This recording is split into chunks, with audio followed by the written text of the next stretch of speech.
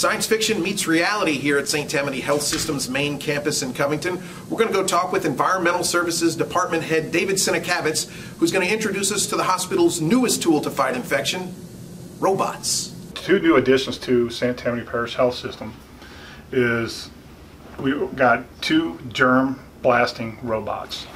They kill up to 99% of harmful bacteria without chemicals or mercury. Uh, it's a great addition to our process of cleaning. Our steps for this process is we swab our room prior to cleaning it. We get our reading from that. Then we clean the room and then we take another reading to see how our chemicals did. Once that's done, we put the robot in and then we take another reading to ensure that our rooms have reduction and hazardous affection, hazardous um, associated infection material. Once we found out of the uh, outbreak of COVID-19, uh, we started really focusing on how we can take extra steps to um, create a safer environment for our patients and staff.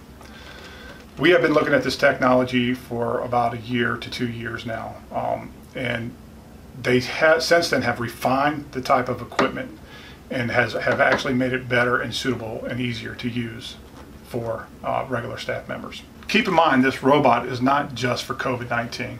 This goes for all our isolation patients from C. diff to MRSA, any contact airborne isolation rooms, this robot is going to kill the extra steps, or it's going to take the extra steps to uh, for 99.9% of the bacteria to be destroyed. Um, it's going to get increases that chemicals may not be able to reach into. Even though we're using these for our isolation rooms, they are still going to be used in our regular discharge rooms. It's not going to be just for isolation.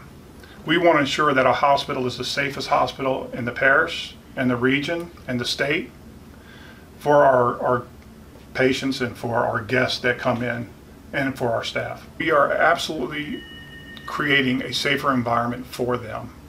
Um, St. Tammany uh, Health System is always looking for ways to better serve our community and to make it safer for everyone that is admitted to our hospital or visiting our hospital.